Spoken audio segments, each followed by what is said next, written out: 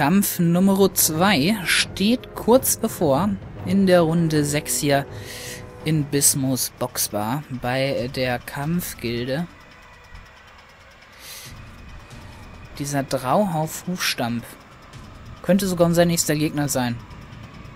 Scheint aber nicht besonders viel drauf zu haben. Macht... Na, oh, jetzt hat er doch... Jetzt hat er aber doch gerade ordentlich kassiert, der, der Vari.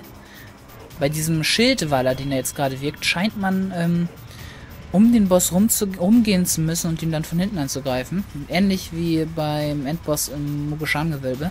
Bei den Schildwachen, die da kommen. Hier, wieder Schildwaller. Der geht wieder hinten ran und dann...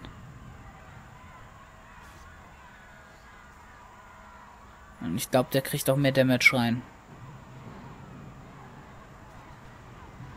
Na, das wird ja wohl nicht verlieren.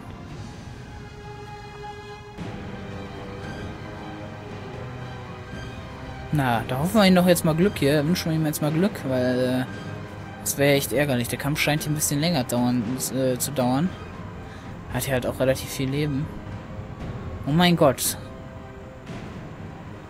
Das war knapp. Naja, herzlichen Glückwunsch. Dann sind wir jetzt dran. Ich weiß nicht, ob es der gleiche Gegner ist oder ob wir einen anderen bekommen. Ich könnte mir aber gut vorstellen, dass wir, äh, dass wir gegen den Kämp äh, Gegner da kämpfen müssen. Ich werde mir jetzt erstmal wieder Hervorrufung geben. Hier kommt Echo, ein tödlicher Pandaren, sechsten Rangs, ja. Ja, nein, es ist, ach, es ist Akama. Ach, ja, gut, wollen wir mal sehen können wir schauen wir mal, ob diese Wölfe wirklich was, äh, was können.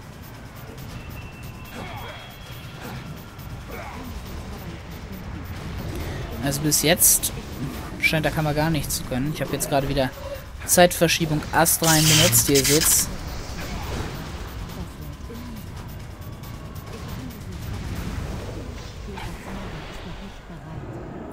Ich denke nicht, dass der mir noch irgendwas entgegenzusetzen hat. Kettenblitzschlag einfach unterbrechen. Und hauen wir ihm die letzten 400.000. Live runter. Feuermage ist einfach hinbar. Ich gib's ja zu. äh, gut, Leute. Ähm, dann schauen wir uns jetzt mal den nächsten Kampf an. Bis gleich.